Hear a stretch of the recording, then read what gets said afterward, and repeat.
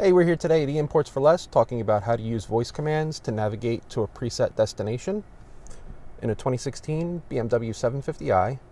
Now, so long as you have a memory destination set, what you can do is call up your voice queue and say navigate home.